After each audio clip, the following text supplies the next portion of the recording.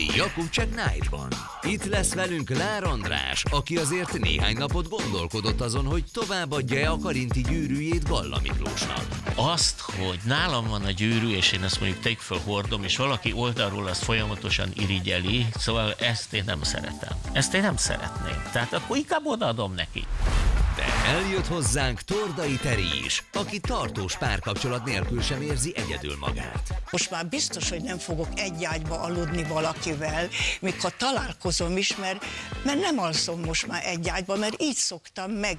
Aztán érkezik Ungár Anikó, aki viszont nagyon is tudatosan kezelte a párkapcsolatait. Pillanatot se értél társnél. Én nem tudok egyedül élni. Hát ez az. Szerintem én nem. De egyrészt nem is adott lehetőségem. Tehát nagyon érdekes, hogy egyik kapcsolatomból rögtön átkulcsoltam a következőre. Jaj, de irigylem. Igen. Olyan.